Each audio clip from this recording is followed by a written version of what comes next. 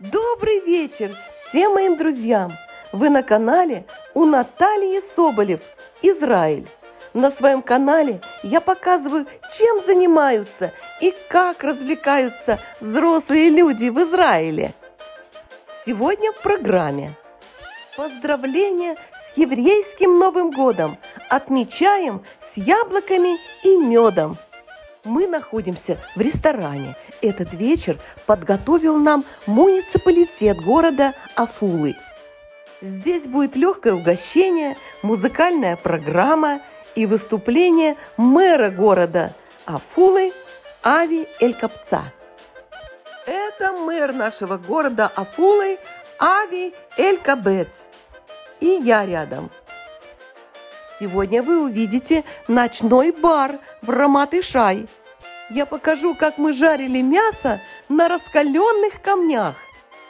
В конце видео будет конкурс «Кто первый?» и я загадаю две загадки. Не забудьте поставить лайк этому видео. Еврейский Новый год называется Рош Ашана. Рош Ашана означает начало – 5783 года по иудейскому календарю. Начинается праздник вечером в воскресенье 25 сентября и завершается вечером во вторник 27 сентября. Согласно трудового законодательства, Роша Шана является государственным праздником – я расскажу, как отмечают Новый год евреи в Израиле. Заходом солнца нужно зажечь свечи. В синагоге проводят торжественную службу. Вы услышите звуки шафара.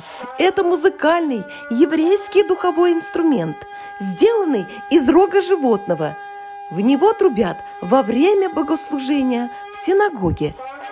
На рожа Ашана Обычаи требуют стократного трубления.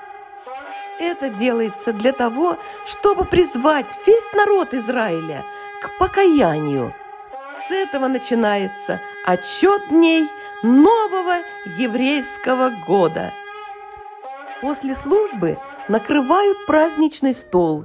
Вся семья собирается дома. Перед трапезой делают омовение рук – и произносят благословения перед хлебом. Кстати, хлеб на праздник делают круглым, что символизирует целостность израильского народа. После этого гости берут кусочек яблока, макают его в мед и желают друг другу сладкого года. После трапезы нужно поблагодарить Всевышнего за еду и за все доброе, что у вас есть. На следующее утро в синагоге проводят праздничную службу. В зал приносят свиток Торы и читают с него фрагменты, посвященные этому празднику. После службы вновь начинается праздничная трапеза. Согласно Торы, на Рош Ашана происходили разные значимые события. Бог создал первых людей – Адама и Еву – Ной впервые вышел из ковчега после потопа. Была неспослана беременность Саре, жене Авраама. Она уже была в преклонном возрасте. Было совершено жертвоприношение Исаака. Иосиф вышел из заточения. Закончился каторжный труд евреев во время рабства египетского.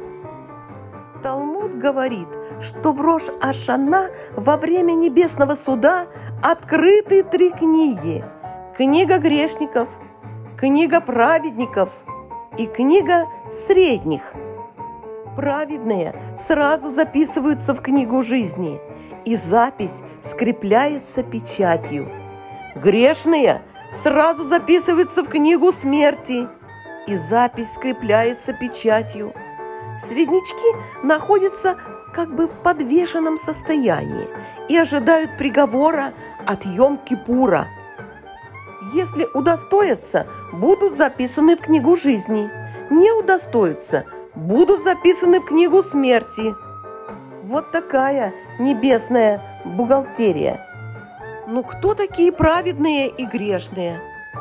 Те, у кого больше заслуг, чем нарушений, называются праведными, а те, у кого больше нарушений, грешники, а те, у кого заслуг и нарушений поровну, это средние. Как известно, во время Небесного суда в Рош-Ашана проводится подсчет заслуг и нарушений человека за предыдущий год. Каждая выполненная заповедь и каждое нарушение закона имеют свой вес. Сколько очков человек получает за каждую конкретную заповедь или теряет за каждое конкретное нарушение, знает только сам Всевышний. А у среднячков есть шанс в период между Роша Ашана и Йом-Кипуром заработать как можно больше заслуг, чтобы склонить чашу весов в желаемую сторону и быть записанным в книгу жизни.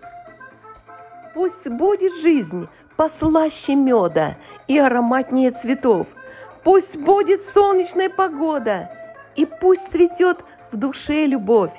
Пусть в книгу жизни вас запишут, пусть вера в вас всегда живет.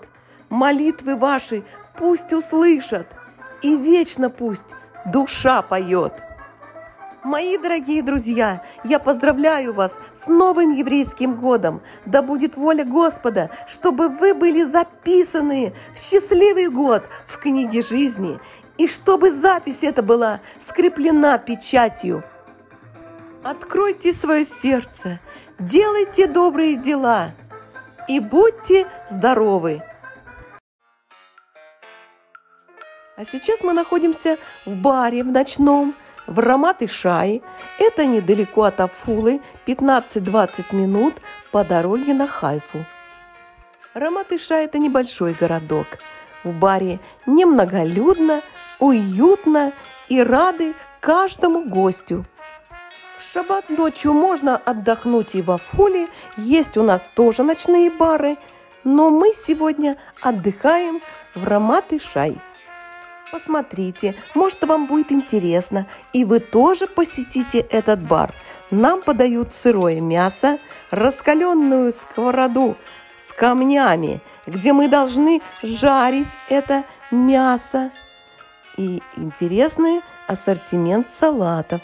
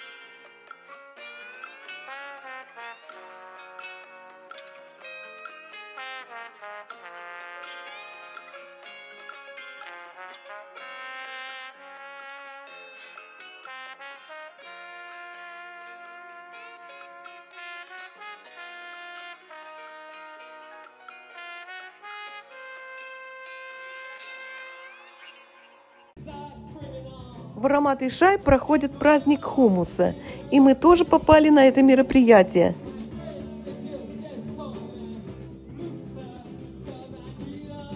Около кафе находится площадка, где любой музыкальный коллектив или ансамбль может поставить аппаратуру и развлекать гостей. Это практикуется в разных барах в Израиле.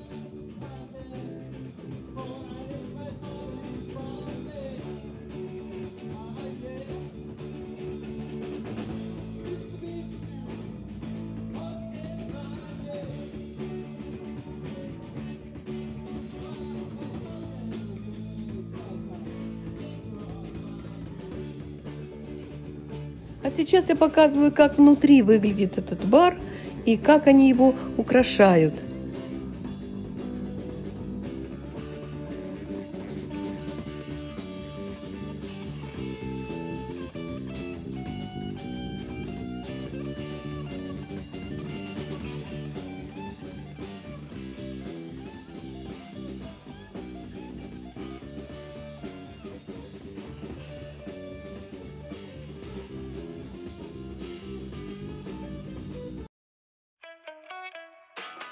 А сейчас, мои дорогие друзья, викторина «Кто первый?».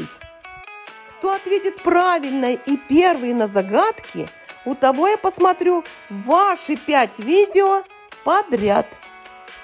И вот первая деревянная коробочка, что это, сувенир какой, что для чего и что это за предмет лежит в нем.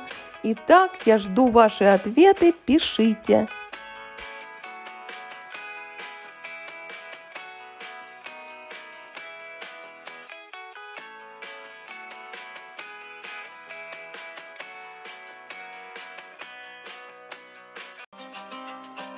Внимание, вторая загадка. Что это предмет, на что похоже? Пишите ответы в комментарии.